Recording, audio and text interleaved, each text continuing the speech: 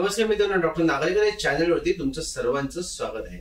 मित्रांनो वजन कमी करण्यासाठी सगळेजण प्रयत्न करत असतात. पण तुम्हाला खरं सांगू का? वजन हे आपल्या हाडांचं सर्वात जास्त असतं. मग त्या हाडांचं वजन कशाला कमी करायचं?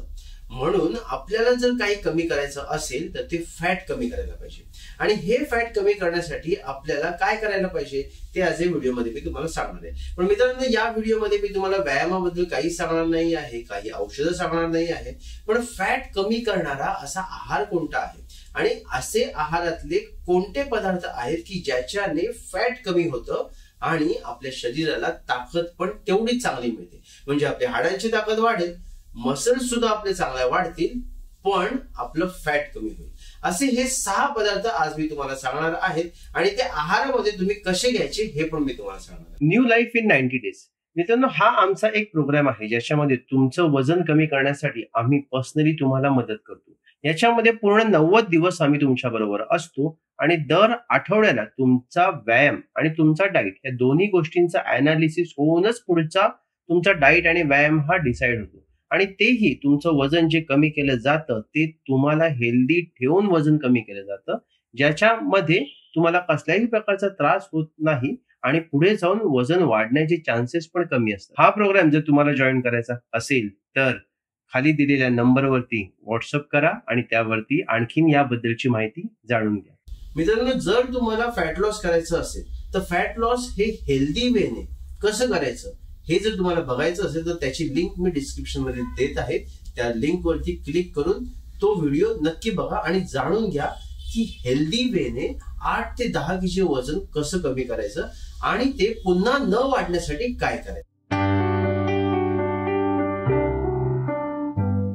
तर मित्रांनो आज मी तुम्हाला सहा पदार्थ सांगणार आहे ज्याच्याने फॅट लॉस होण्यासाठी तुम्हाला नक्की चांगली मदत होईल. तर पहिला पदार्थ आहे मूग.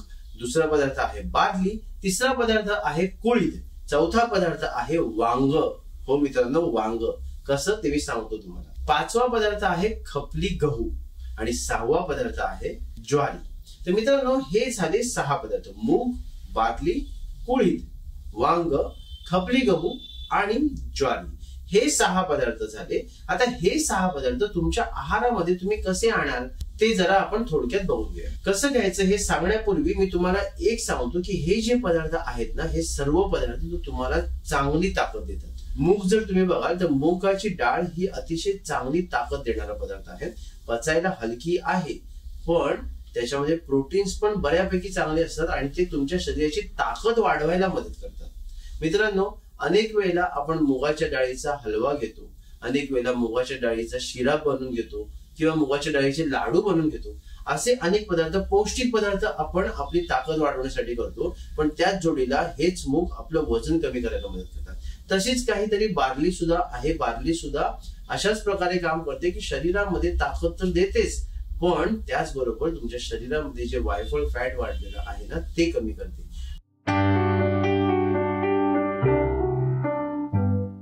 कुळीद. कुळीद हे अतिशय गरम असतात. आणि कुळदाचं कामच असतं की भेदन करणं. मित्रांनो पूर्वीच्या काळी जी लोक दगड फोडायचे ना ते दगड तो ठिसूळ बनवण्यासाठी त्या दगडावरती पहिले कुळदाचा काढा टाकला जायचा आणि मग तो दगड फोडला जायचा मग तो इझिली फुटला जायचा. तर कुळदाचं कामच असतं भेदन करणं आणि अशा प्रकारेच कुळीत म्हणजेच गुलगे हे भेदन करण्यासाठी म्हणजेच फॅटचं भेदन करण्यासाठी आणि फॅट कमी करण्यासाठी मदत करतात.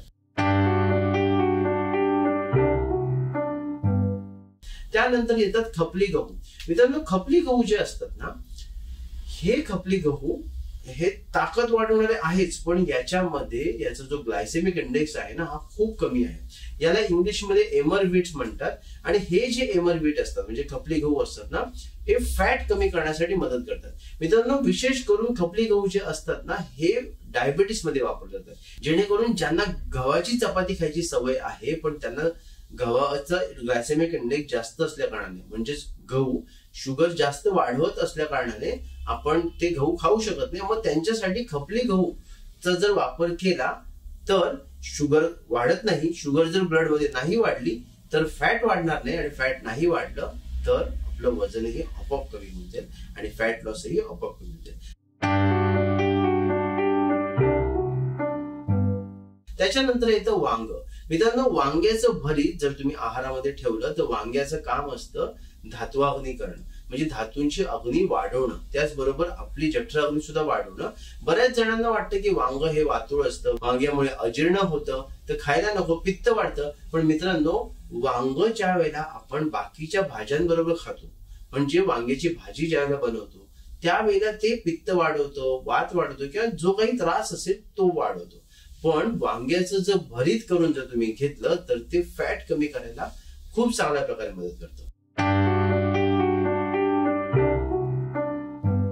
आणि सगळ्यात शेवटचा पदार्थ म्हणजे ज्वारीची भाकरी. मित्रांनो महाराष्ट्रामध्ये ज्वारी ही प्रचंड प्रमाणामध्ये खाल्ली जाते. आणि तुम्ही जर बघाल तर आपलं फर्स्ट फूड जर म्हणजे आपलं काही असेल तर ते असेल ज्वारी.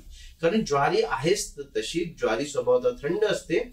आणि ज्वारी मुख्यतः पचायला हलकी पण आहे. आणि त्याचबरोबर ती ताकदही वाढवणारी तर असे हे सहा पदार्थ तुमची ताकद तर वाढवतच पण तुमची फॅट कमी करायला मदत करतात. आता हे आहारामध्ये कसं घ्यायचं? तर बघा जनरली आपण काय करतो? जनरली आपण नाश्ता करतो दुपारचं जेवण करतो आणि रात्रीचं जेवण करतो. असे जनरली आपण तीन वेळेला जेवण करत असतो. मग याच्यामध्येच आपण सुरुवात करूया नाश्त्यापासून. आता हे सहा पदार्थ नाश्त्यामध्ये तुम्ही कसे आणाल तुम्ही म्हणाल की सहा पदार्थ आहेत आम्ही कसे खाणार? पण ब्रेकफास्टमध्ये तुम्ही याचा चांगला वापर करू शकता. मित्रांनो सर्वात पहिलं म्हणजे मूग आहे. तुम्ही मुगाचेच दोन ते तीन पदार्थ बनवू शकता. सर्वात पहिलं म्हणजे मुगाचं सूप बनवू शकता हिरव्या मुगाचं सूप बनवू शकता. त्यानंतर उकडलेले मूग खाऊ शकता. म्हणजे नुसते मूग उकडवायचे त्यांना थोडी तुपाची फोडणी द्यायची आणि त्याच्यामध्ये कांदा काकडी असं टाकून त्याचं सॅलड बनवून खायचं. हे तुम्ही ब्रेकफास्टला करू शकता. त्यानंतर मुगाचा डोसा बनवू शकता. तो डोसा घेऊ शकता. झाले की नाही? तीन ब्रेकफास्ट याच ठिकाणी झाले. तर बार्लीमध्ये सुद्धा सेम करू शकता. बार्लीचं सूप घेऊ शकता बार्लीची खिचडी घेऊ शकता. बार्लीचा डोसा किंवा बार्लीचा चिला म्हणजेच आपल्याकडे जसा आपण बेसनाचा पोळा बनवतो तसंच तुम्ही बार्लीचा पोळा बनवू शकता. आणखीन तीन ब्रेकफास्ट तुमच्या जवळ झाले त्याच्यानंतर खपली गहू आहे ज्वारी आहे हे सुद्धा तुम्ही ब्रेकफास्टमध्ये खाऊ शकता. म्हणजे खपली गव्हाची चपाती आणि ज्वारीची भाकरी त्याच्याबरोबर एखादी भाजी.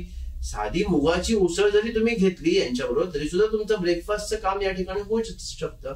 म्हणजेच तुम्ही बघा की ब्रेकफास्ट या ठिकाणी आपण अनेक प्रकारची या सहा पदार्थांमध्येच घेऊ शकतो.